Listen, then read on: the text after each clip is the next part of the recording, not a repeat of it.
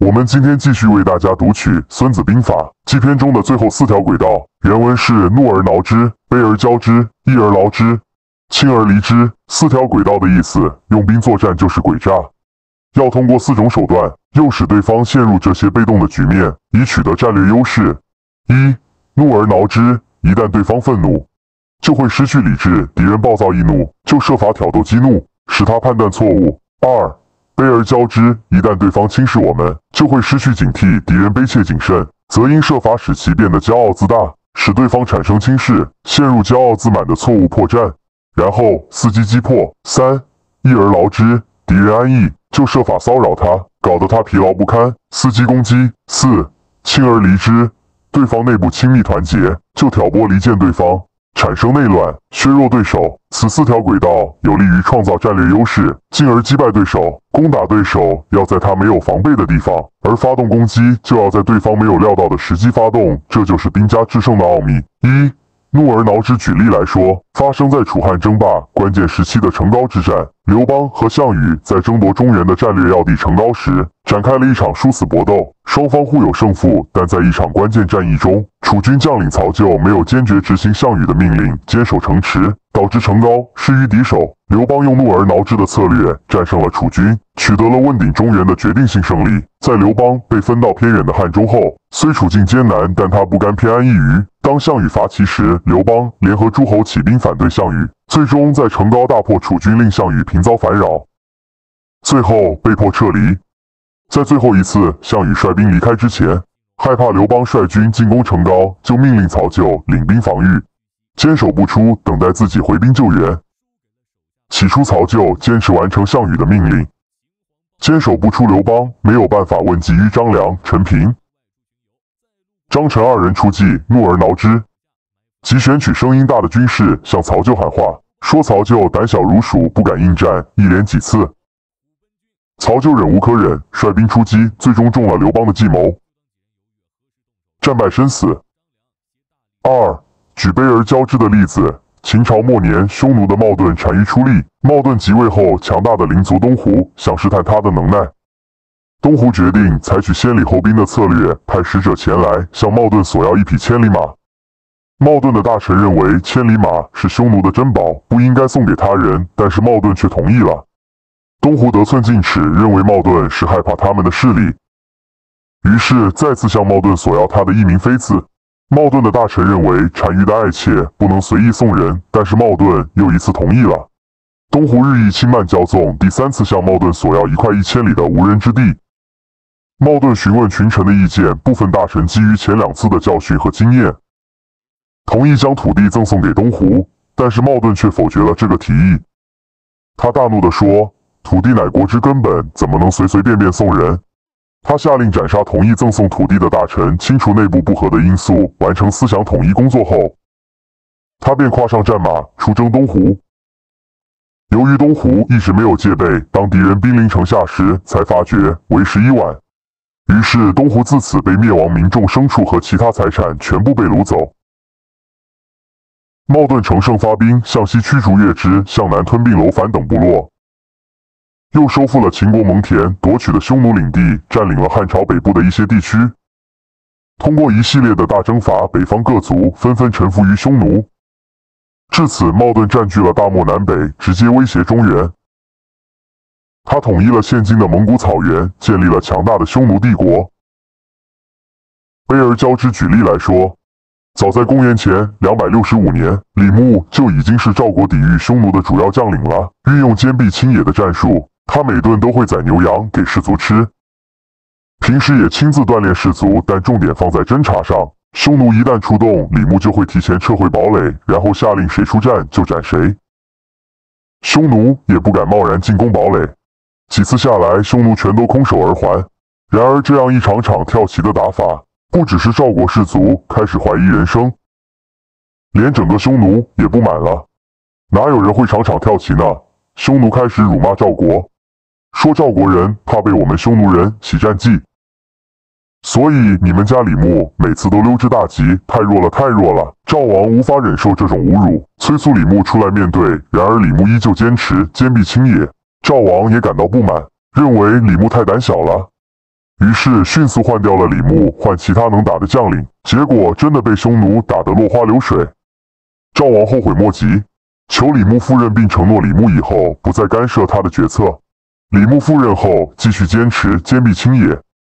几年下来，赵国士卒身体也都练得差不多了，也受够了被辱骂，渴望着跟匈奴决战。李牧布局了好几年，就是在等待这一天。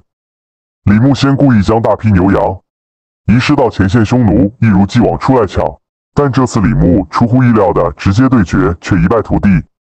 匈奴觉得太好笑了，藏了那么久的李牧果然只是胆小无能，毫不犹豫的联合所有部落。进攻赵国，才发现堡垒全都不堪一击，真是气死人了！早知道当初就强攻了。于是更大胆地下令所有军队都入侵赵国境内洗劫。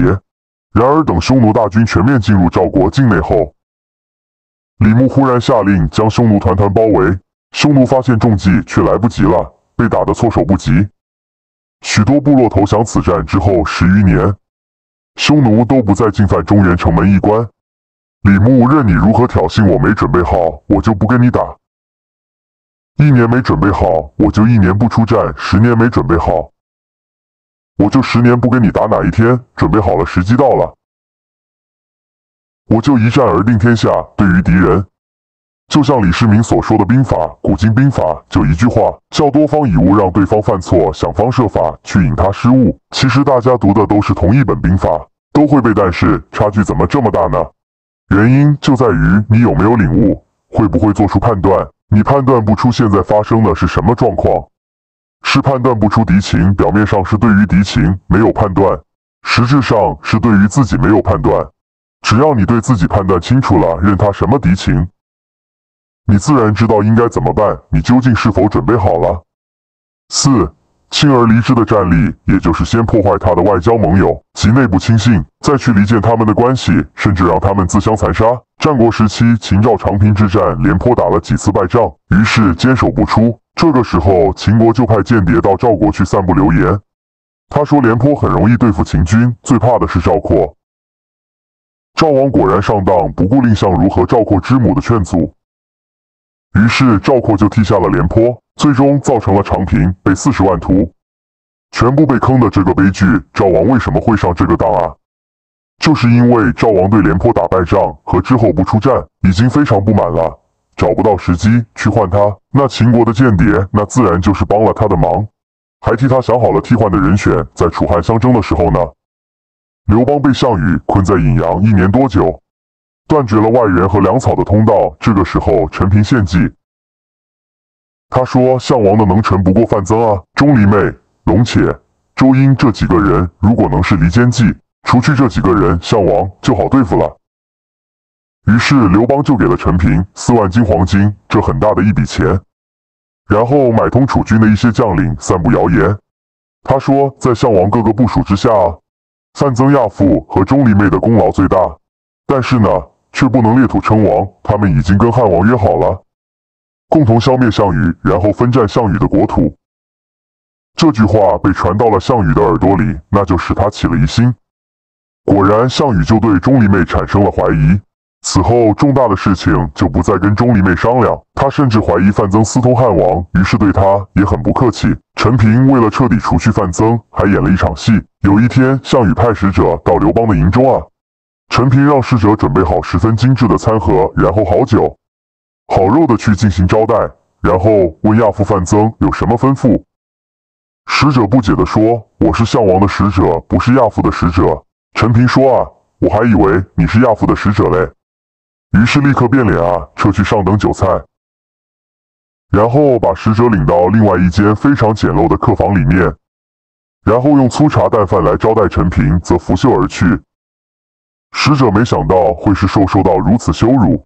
怕范增的使者这么好酒好菜的款待，一旦变成了这个项王的使者，竟然被如此的对待，于是非常气愤。回去之后就把这个事告诉了项羽，项羽更加确信范增私通汉王了。那么这个时候，范增向项羽建议说应该加紧攻城，但是项羽一反常态，拒不听从。范增也知道了，外面说他暗通汉王的这些谣言，知道项羽中了离间计。于是范增就告老还乡，项羽就毫不留毫不留情，还一点都没有挽留。陈平的离间计并不厉害，项羽为何会中计？其实范增和项羽的关系。本质上并没有我们所想象的那么好，而且范增和项羽之间的矛盾早已经显现。这一矛盾就是关于雄心楚义帝的安排。项羽对范增忠诚度、信任度方面的矛盾从未停止。项羽并非傻到看不出陈平的离间计，只是他刚好需要这个机会，于是将计就计，弄走了范增。只可惜也弄走了自己的江山。可以说，项羽就这样把自己给玩完了。不怪任何人，只能怪自己利害权衡，失去大局观。这就是离间计的实施，重点利用对方内部矛盾，扩大矛盾，造成对方战略失误。这期讲的《孙子兵法》四个轨道，谢谢收看，下期再会。